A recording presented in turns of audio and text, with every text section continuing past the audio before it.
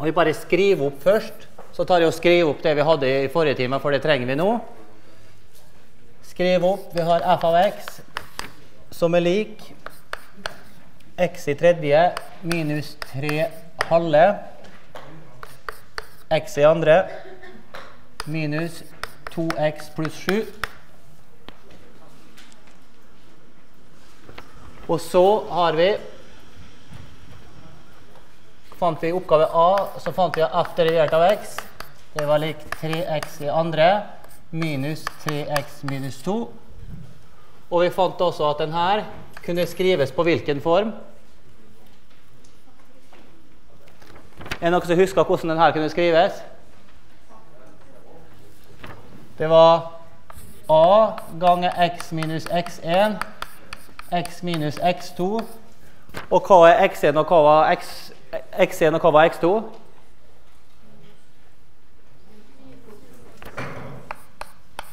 Ja, det var 3 ganger x, og så var det minus minus gir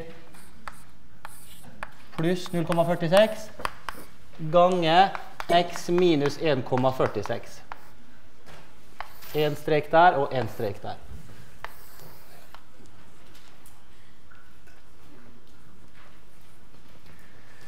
Nå blir vi bedt om i oppgaven å tegne grafen og lage fortegnskjema. Vi skal tegne grafen og lage fortegnskjema. Og da er det én ting jeg har lyst til at dere skal tenke på med en gang. Jeg tror det er oppgave B og C osv. Hva må vi gjøre når vi skal tegne en sånn graf som dette der? Hva må vi gjøre når vi skal tegne en sånn graf som dette der? Verditabell, ja. Det stemmer. Har vi x der, og så f av x der. Og så setter vi inn forskjellige verdier for x, og så setter vi inn ver forskjellige verdier for y. For f av x å regne ut. Og det her er litt arbeid, og det her er ikke så enkelt, så vi skal hjelpe dere som regel, både på øvingene og ellers. Men det her er litt jobb, da. Men av og til så må vi jobbe.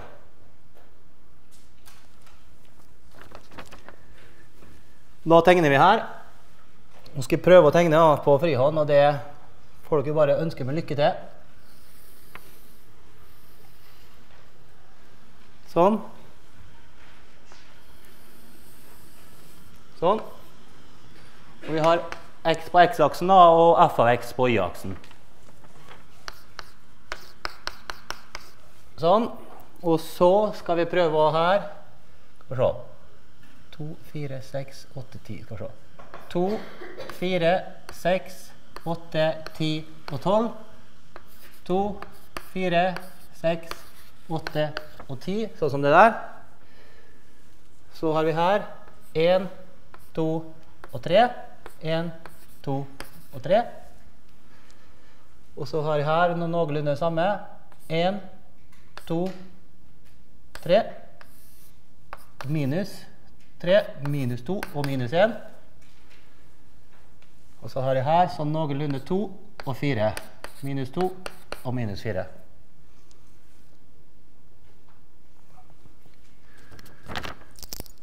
Og nå skal vi prøve å ta bare verditabellen i hodet, og så skal vi prøve å Men dere kan ta frem kalkisen og så hjelpe meg litt. Det aller første er faktisk det at vi vet jo nullpunktene til den her. Og det kan vi nå utnytte. Hva er nullpunktene her? Ja, Og det er litt mindre enn minus en halv. Så det er ca. her. Det er nullpunktet. Mm, nei, det er nullpunktet den deriverte, ja. så det er feil. Det er feil. Så det er denne vi må se på. Det er den vi skal plotte. Så det var ikke så enkelt. Men la oss prøve da, å plotte inn, eh, la oss plotte inn minus 2 på den der. Så et par verdier må vi regne. Ta fram kalkisen alle sammen. Kalkisen må vi ha.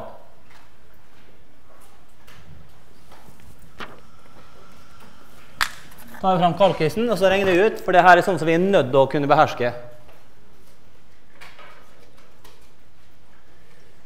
Så tar vi det her. Minus 2. Hva får vi da? Minus 2 i tredje blir Minus 2 i tredje. Alle setter inn det i kalkis. Og vi får Minus 2 i tredje. Hva får vi når vi setter inn minus 2 i tredje her? Minus 8, ja. Og så setter vi her minus 2, så får vi Minus 2 i andre blir 4, ja. Gange 1,5.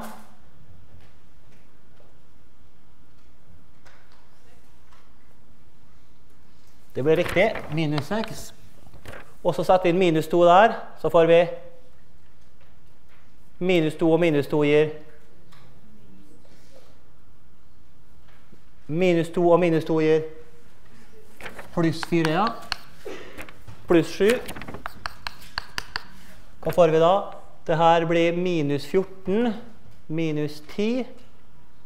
Og så blir det minus 3, blir det ikke det? Stemmer det? Jeg tror det. Slik at hvis vi har minus 2, så skal vi ha minus 3. Og det er der. Der har vi da et punkt. Så gjør vi tilsvarende for minus 1. Og da får vi et punkt som er ca. her. Og nå er vi nødt til å lage en verditabell. altså. Vi må ha minus 2 og minus 3. Og så har vi minus 1, 0 og 1 og 2. Skal vi ta nulleren, da? Den er enkel. Hva blir nulleren når x-en er lik 0? Da blir vi 7, ja. Så da er vi her et sted. 1, da. Hva blir det? 1 blir ganske enkel, for den blir 1, den blir 1, og den blir 1. Så blir 1 minus 1,5 minus 2 pluss 7. Hva blir det? 1 minus 1,5 er minus en halv. Eh, minus 2 er minus 1,5.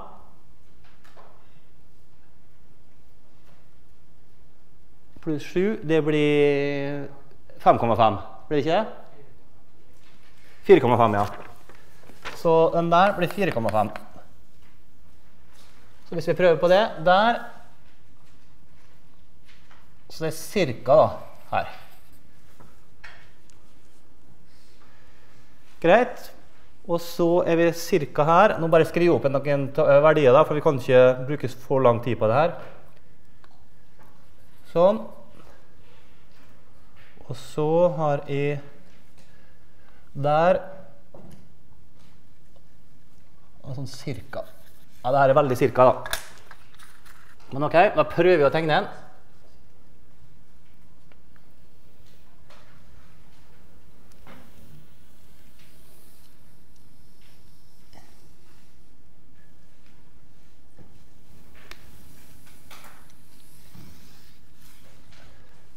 Der har vi f av x. Sånn cirka.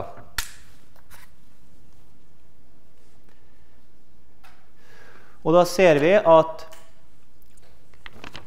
det punktet her, der den er flat, det er cirka her. Hvor er det inntreffer hen? Det punktet her nå, der den er flat. Her er den cirka flat. Vet vi hvor det skal inntreffe? hen, det punktet der? Vet vi x-verdien til det punktet der? Bra. Der er det flatt. Så hvis vi gjør sånn, da Så er det ca. her. Jo, der er minus 1, og der er ca. en halv, så det er ca. litt mindre enn minus en halv. Hvor er det andre nullpunktet hen, da? Til, hvor er det andre punkt, verdien for x der funksjonen er flat? 1,46, ja. Altså han er flat der. Den deriverte null der. Han er flat. Og det blir ca. her. Og hvis vi skriver på det, da, så kan vi ta og skrive på her 1,46. Og så skriver jeg på det punktet her. Minus 0,46.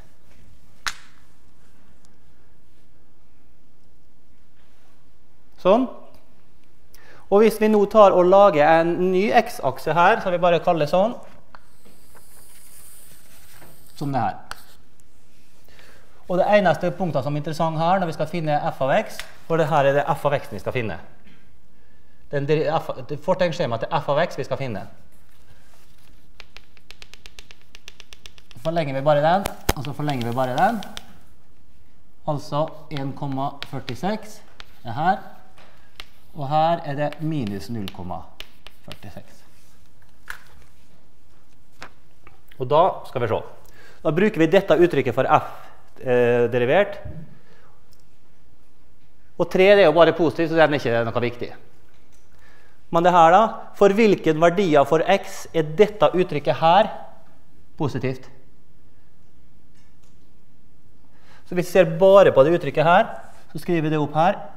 X pluss 0,46. Og så gjør vi sånn.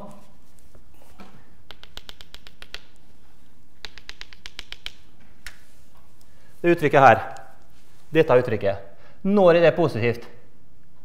Er det positivt i dette området eller negativt i dette området? Negativt. Se helst på tavlene og ikke det i kompendier, slik at vi gjør det sammen. For her er vi f.eks. minus 2. Og hvis vi setter minus 2 her, pluss 0,46, så blir det noe negativt. I det området her, da, er denne, dette leddet her Er det positivt eller negativt i dette intervallet? Bra, det er positivt. Og i dette intervallet, da? Bra. Og hva kan vi si akkurat her, da? For 0, minus 0,46? Der er 0. Bra. Så tar vi neste ledd, som er dette. Skriver vi opp det. x minus eh, 1,46 her. Dette leddet her. Er det positivt eller negativt i dette intervallet? Det er negativt, ja. Det er helt rett. I dette intervallet er dette leddet her. Er det positivt eller negativt? I dette intervallet her, positivt eller negativt? Hvor er det null hen, da?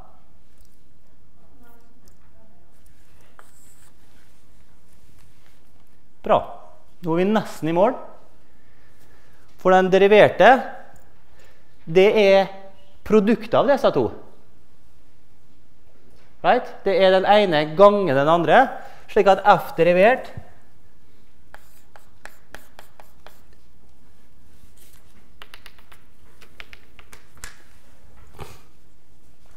Det er det ene leddet ganger det andre. Så hvis dette er positivt Eller vi skal ta det første først, da. Hvis dette er negativt, og dette er negativt Hvis dette er negativt, negativt, hva blir det da der totalt sett?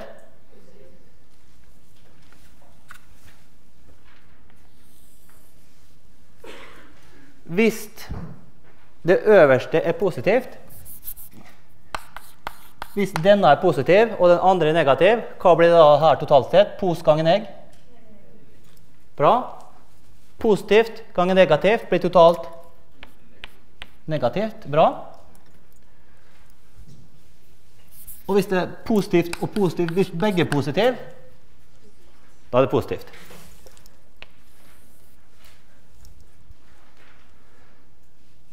Så har vi et nullpunkt her, og så har vi et nullpunkt her. Nå er det fryktelig lite, liten plass her, da, men jeg skal prøve å få det til likevel. Følg med på dette her.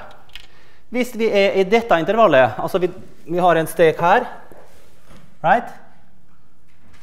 og vi har en strek her, og vi er interessert i å finne stigningstallet i de intervallene. La oss se på intervallet her først. Dette intervallet. Hva kan du si om brattheten eller stigninga til funksjonen i dette området? Er det positiv bratthet eller negativ bratthet? Så hva er f derivert i dette intervallet? Det er positivt. Så da er vi på en måte på vei oppover. Right? Så Hvis vi på en enkel måte illustrerer det, så nå er det så trangt her da, at jeg håper dere ser det På vei oppover. Right? På vei oppover, Og så kommer vi akkurat på punktet her. Da har vi null. Men hvis vi er det mellomintervallet, f.eks. her, hva kan vi si da om den deriverte? Bra. Den er negativ, ja. Vi er på vei ned. Det har vi jo sett her. Og da er vi på vei ned, sånn som det. Så går vi hit, og hva skjer akkurat her? Brattheten er null, altså det er flatt. Og så kommer vi litt lenger ut, så kommer vi hit. Da er vi på vei hvilken vei? På vei opp igjen, ja. Så det grønne her som er litt dårlig illustrert Det grønne der som er litt dårlig illustrert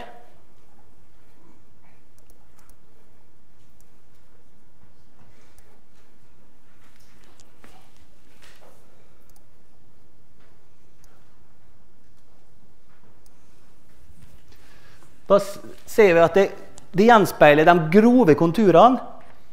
At den der går litt oppover, og så nedover, og så oppover. Og hva kan vi si da om det punktet her? Er det et maksimum eller minimum? Det er maks, ja. Så skal vi avgjøre hvilken type maks etterpå. Og det punktet der, er det et minimum eller maksimum? Så jeg vil at dere skal skrive på dette her, for det tror ikke står. Så skriv på det her at det her blir et maks, og tegn inn det på side 168. Skriv en maks der.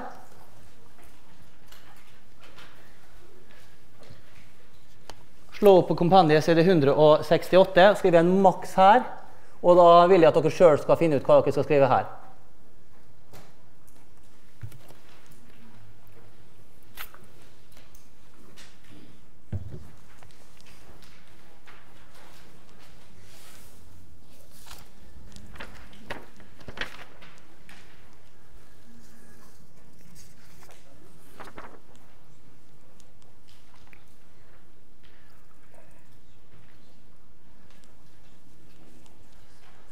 Så hvis jeg hadde kommet hit nå og sagt at ok, en deriverte er lik null, og en deriverte er nullpunktene til en deriverte, altså flattheten, det inntreffer ved punkta x1 lik minus 0,46 og x2 lik 1,46. Og da kunne jeg ha spurt spørsmålet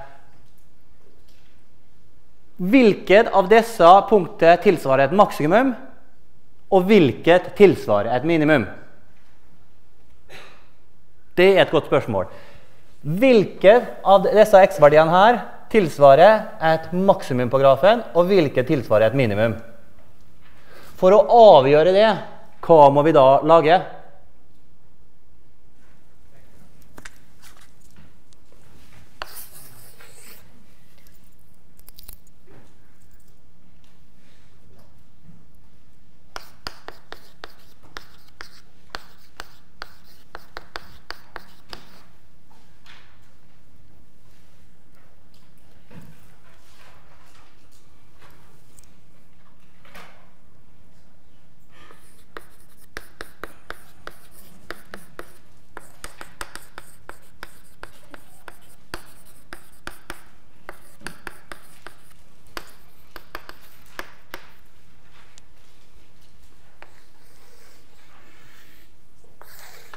For å avgjøre om x1 og x2 tilsvarer et maksimum eller minimum, hva må vi da lage for å avgjøre det?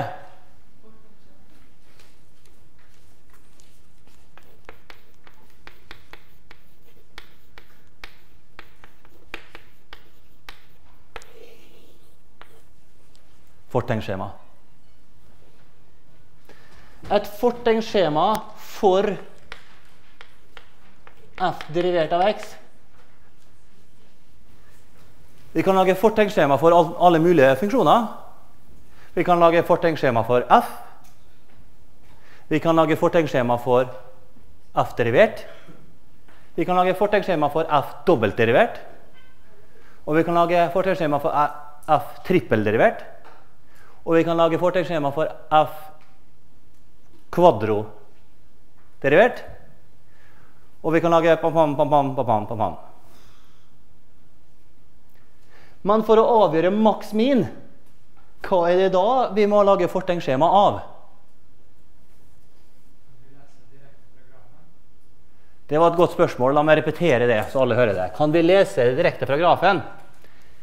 Ja er svaret, men det å lese fra grafen er bare en sjekk på at det regningsmessige vi har gjort, er det riktige.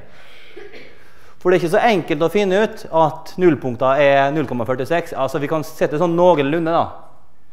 Men jeg vil si at ja, du kan lese det av på grafen hvordan konturen går. Og om det er et maksimum eller minimum, det kan du, ja. Men jeg, til, jeg vil bare at du skal bruke det som en sjekk på at dette er riktig.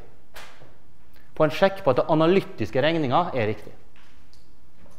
Han svarer ja. Du kan, ser jo bare med stirremetode at dette er jo et maks, og dette er et minimum. Så svaret er ja. Men det vil jeg bare du skal bruke som en sjekk på at det her liksom stemmer overens.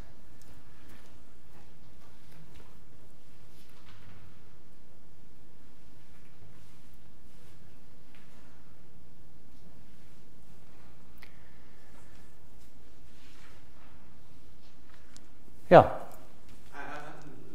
På eksamen nå vil dere eksamens sjefer om jeg får brukt det ordet godta om jeg bruker den nederste metoden av grønne i stedet for prikka linjer og full strek. Eh, spørsmålet er om vi kan bruke den grønne linja istedenfor kombinasjonen av stipla linje og heltrukken linje. Og jeg vil si jeg vil at dere skal bruke begge deler. Jeg vil dere skal bruke både og. Fordi at vi kom fram til den grønne linja ved å se på at minus og minus gir pluss. Da går det oppover. Pluss og minus gir minus. Da går det nedover. Pluss og pluss gir pluss. Da går det oppover. Slik at svaret på spørsmålet er du må både ha, du må ha både og. det at for å komme fram til den grønne strukturen opp, ned, opp, så må du ha det ovenforstående. Og vi ser liksom at det fungerer òg, da. I det intervallet her, når vi er på den sida, så er vi på vei oppover. Og så har vi null akkurat der. Og så er vi på vei ned. Og så er vi på vei opp. Så vi ser at det stemmer. Så fort den for F derivert det gjenspeiler brattheten. Altså er vi på vei oppover eller nedover eller oppover. Og Ved hjelp av det her så kan vi finne ut hvilken funksjon hvilken, maksim, hvilket ekstremalpunkt som er et maks, og hvilket som er et min. Når du har skrevet oppgave 3C, så har du skrevet 'finn alle ekstremalpunkt', ekstremalpunkt, alle verdier. Ja. Er det analytisk? For det står ikke noe om. Ja, jeg skal komme tilbake til det. Spørsmålet er fra en eh, oppgave i øvinga om vi skal finne alle ekstremalpunkt. Og når det ikke står noe, så er det som regel at de mener analytisk. Eh, men jeg skal prøve å være enda mer presis på å si det. da. Det er et bra poeng. Eh, så de av dere som er her på øvinga etterpå, så skal jeg hjelpe dere.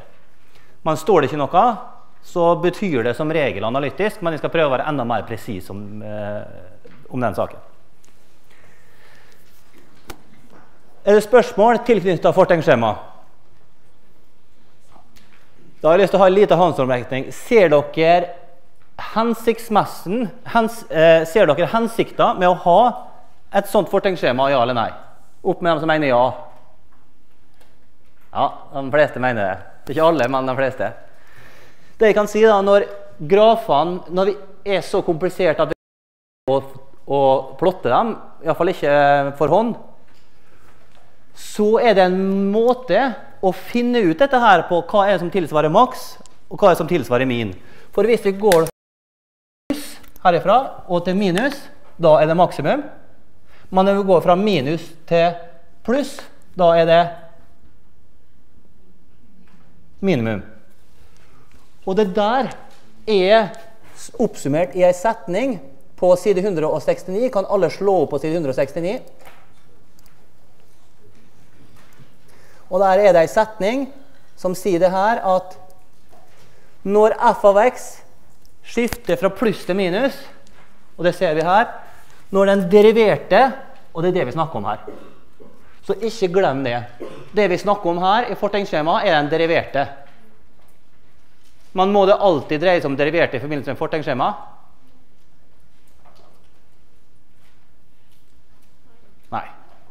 Men her dreier det seg om den deriverte, altså brattheten. Og når brattheten går fra pluss til minus, da tilsvarer det ifølge den setninga der et lokalt maks. Stemmer det med dette eks eh, eksempelet? Bra. Når vi derimot den deriverte, altså brattheten, går fra negativ til positivt, fra minus til pluss, hva tilsvarer da dette ekstremalpunktet? Et lokalt minimum. Stemmer det med dette eksempelet? Ja. Så det her er faktisk en ganske djup matematisk setning da, som gjør at vi kan finne ut om vi er i bunnen av en graf, eller om vi er i toppen av en graf, bare ved å sjekke fortegnet i det området her. Går vi fra pluss til minus, eller minus til pluss? Da har vi svaret. Ja, du ser det på grafen, men tenk de gangene da du ikke har en sånn graf foran deg, da du ikke har den plotta, en kjempekomplisert graf, men du har funnet nullpunktene, men du ikke aner hvordan den ser ut. Da kan du allikevel finne ut om du er i et bunnpunkt eller et toppunkt. De gangene du ikke har en sånn graf å stirre på. Så dette her, læresetningene, eller teoremet som det heter i matte, det er faktisk eh, litt dypt, det, altså. Og det er ikke så enkelt å Så husk på det der. Det kalles altså ekstremalverdisetninga. Har fått et eget navn. Ekstre, lokale ekstremalpunkter. Så det er faktisk en bra setning som vi kan huske på. Men som sagt, her er eksempelet, og da er det mer forståelig hva det dreier seg om. når vi ser på det eksempelet. Isolert sett så ser det der veldig kryptisk ut, men det er dette det betyr. Det er dette det betyr.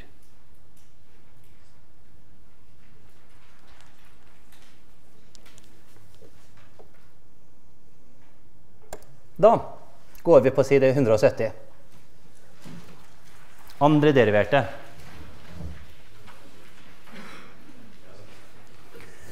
Andre deriverte. Da bare igjen så ser vi at det er en sånn kryptisk definisjon av den andre deriverte. Og den tror vi bare hopper glatt over, for at eh, går, skriver ikke opp det på tavla og gjør stort nummer ut av det. Men den andre deriverte Prøv å se litt på den andre nederste setninga der. Det er stigningstallet til den første deriverte. Men den første deriverte er jo bare stigningstallet til f. Så den andre deriverte, det vil jeg si, er stigningstallet til stigningstallet. Hva vil dere si at den tredje deriverte er for noe? ja, jeg hørte hva dere sa, men jeg leste på leppene deres. Og så flirte dere. Det er helt rett. Jeg kan si det så alle hører det, også dere som ser på video. Den tredje deriverte er stigningstallet til stigningstallet til stigningstallet. Og eh, hvis du har sånne lærere som skal lære unger å prate og snakke greit, så har de sånne vanskelige setninger å, å komme med. Kjell kjørte kjelke nedover kirkebakken og sånne ting. Og vi har noe tilsvarende innen matte. Det er hvis du skal forklare på godt norsk hva ei, den 17. deriverte er for noe. Det er stigningstallet til stigningstallet til stigningstallet til stigningstallet til stigningstallet til stigningstallet osv. 17 ganger.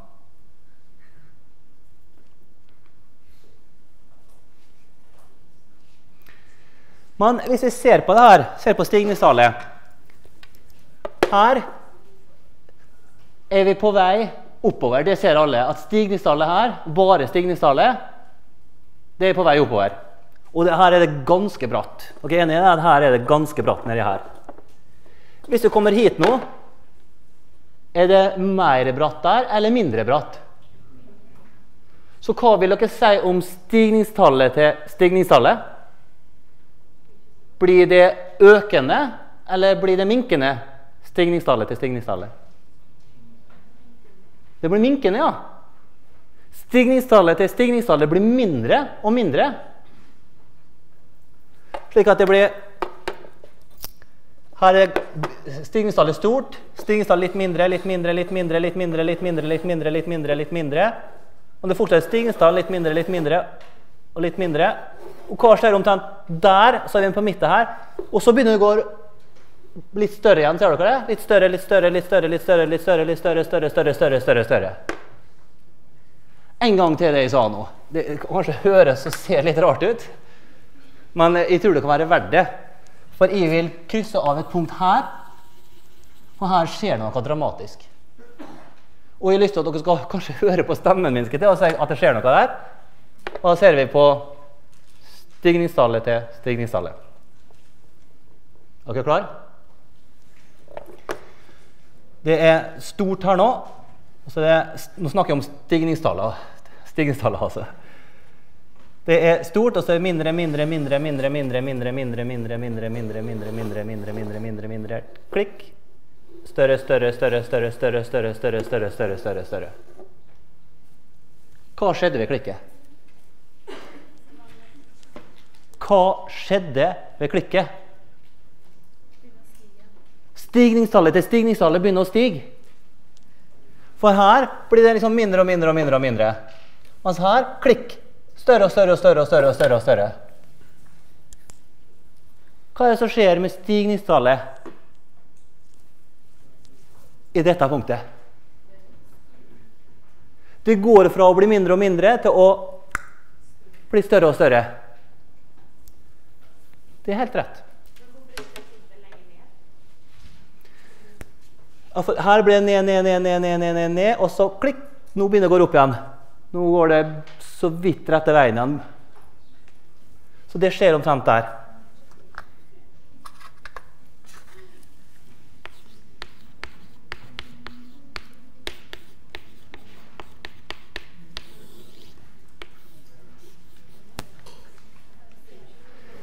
Det punktet der kalles vendepunktet.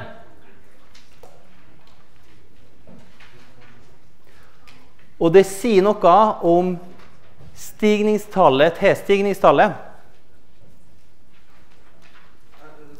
Så det sier jeg at når de første kurvene for å se som er ferdig, når de skifter bakke, om du skjønner. Den skifter kurven, skifter litt eh, stigning. Den skifter ikke bakken, men den skifter stigninga. Det tror jeg er helt rett. Som som sagt, her er det veldig bratt. Veldig bratt, så det er mindre bratt, mindre bratt, mindre bratt. mindre bratt. Og det er fortsatt liksom på litt nedtur. da. Altså Det blir mindre bra etter hvert. Altså Det er fortsatt litt nedtur. Men der er liksom det liksom går rette veien, på en måte. Selv om det går nedover, så er det på opptur. Skjønner dere? Altså Her er du egentlig på vei nedover, og det er et faktum. Du er på vei nedover her. Men det blir liksom bedre likevel. Skjønner dere det? At her er vi på vei nedover. Det er en nedtur, bokstavelig talt. Men det går bedre, for er, det går etter veien allikevel. Vi er kommet slik at det går litt bedre. For akkurat det punktet her Hvis vi kaller det sånn, da. Der. Der har vi punktet. Den grønne linja. Så her går det er på vei oppover, men det går mindre bra, mindre bra, mindre bra, mindre bra, mindre bra, enda mindre bra, enda mindre bra. Og der begynner det å gå rette veien igjen, på en måte. Og det som heter rette veien igjen, på en måte, på godt norsk, det er det vi matematisk kaller et vendepunkt. Et vendepunkt. Det bruker vi jo i sport og alle andre sammenhenger. Og det er egentlig det det betyr. At eh, selv om det kan gå dårlig med oss, si, så er det liksom på vei rette veien. Altså, det, det liksom, vi ser progresjon. Det går mindre dårlig, og så går det mindre dårlig, og så går det plutselig positivt og bra igjen. Så her er altså f dobbelt Oi sann. Dobbeltderivert av x er lik null. Det foregår akkurat i dette punktet, og det er et vendepunkt. Så her er den dobbeltderiverte lik null.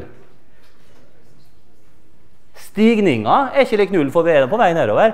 Men stigninga til stigninga er lik null.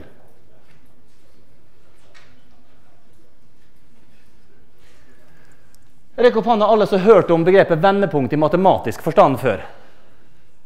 Ja. Er det videregående dere har hørt om det? Dere har hørt om det fra videregående? Ja. Dere har nok lært det på videregående her. Så la oss se på dette her, for det eksempelet vi snakka om. Her ser vi på oppgaven. da. Vi skal tegne den dobbeltderiverte og tegne fortegnsskjema for den dobbeltderiverte. Så her tegner vi fortegnsskjema for den første deriverte. For det ser vi her. Men vi kan også tegne skjema for den andre deriverte. Og la oss gjøre det, da.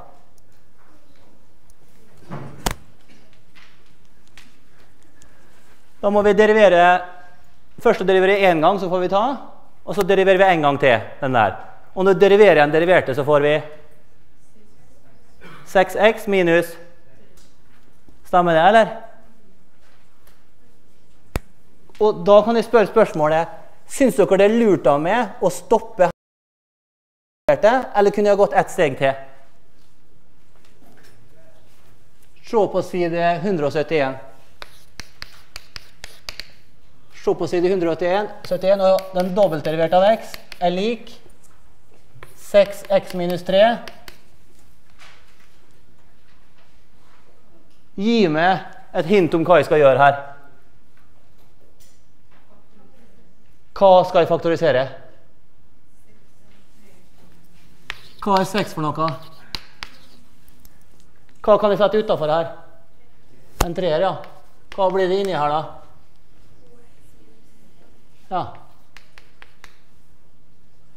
Er det noen som greier ved stirremetoden å fortelle meg ved hvilken verdi for x inntreffer vendepunktet?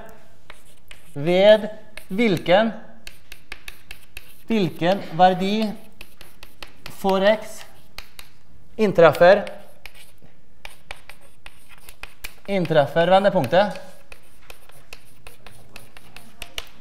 Hva er x-en her når den er lik null? Yes! x er lik en halv. Og hvor er det igjen på grafen som cirka? Her er 1, der er 1, og da blir en halv der cirka.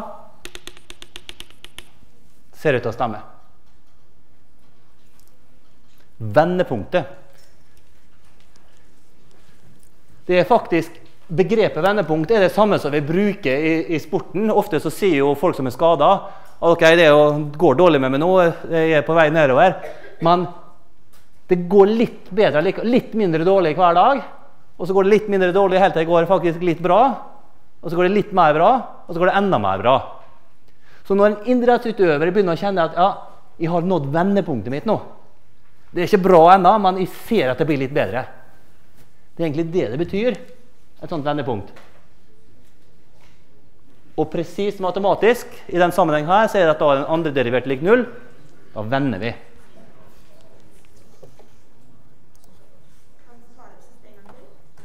Ja, vi skal forklare det siste en gang til. Her ser vi grafen vår en gang til, men med den andre deriverte. Jeg prøve å forklare det her en gang til. Med den andre deriverte som fortegnsskjema. Og la oss prøve å se på dette her. Og se på Hvis vi går herifra sånn, vi- da er riktignok den deriverte positivt. Men hvis vi går derifra og litt dit, det, går det da litt mindre positivt. Og så blir det fortsatt positivt, men litt mindre positivt. Og litt mindre positivt. Og så går det enda mindre, eh, mindre Altså stigninga blir enda mindre. Og så går, enda, så går det enda mindre, så går det enda mindre. Men så er vi på vei opp igjen. Så er det der er vi på vei opp. Men her nå går det liksom nedover. Altså, det går litt, litt nedover, ser vi, sånn som det her. Det, går, det går liksom litt dårligere og dårligere. Men der Nå er vi på vei opp igjen. Så når vi står her, så går det liksom vush, opp sånn. Mens her er vi på vei ned. Så jeg vil faktisk ta og skrive på ei sånn pil som en huskeregel, faktisk. Nå her, på det punktet her, på den sida, så deler jeg grafen her i to. Her går vi litt sånn, på vei nedover på en måte, mens her, på den sida, så er vi litt på vei opp.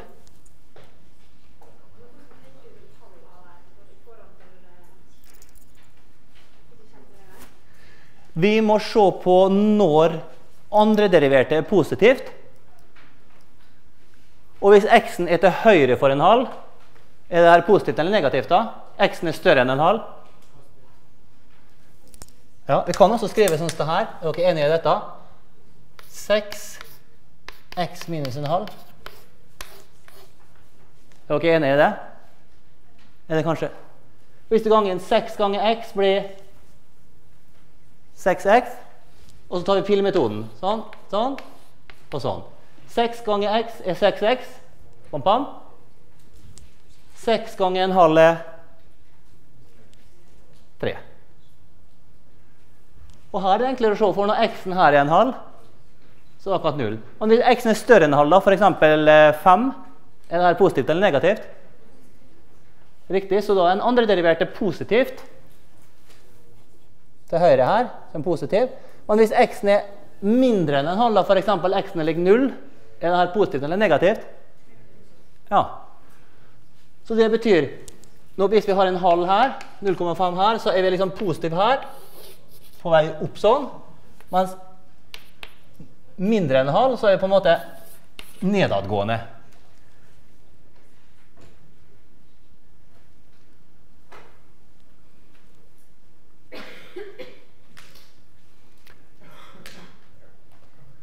Skal vi gi terningkast, da? Eh, hvor vanskelig er dette her? Det er ti skikkelig vanskelig, og én er barnslig enkelt.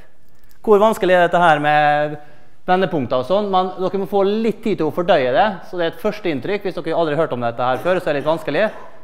Men hva er førsteinntrykket? Vendepunkter, hvor vanskelig er det? 8, 9, 5, 5, 1. OK? 1 er barnslig enkelt, altså. Er det noen som har en åtter her, da? Seks, sju? Er det en baker som har en sjuer? Eller var det et spørsmål? Det var seks, sju, ja. Ok. Vi foreslår det at eh, vi tar og øver oss på dette i neste time, og så blir her sammen med dere i øvingstimen neste time.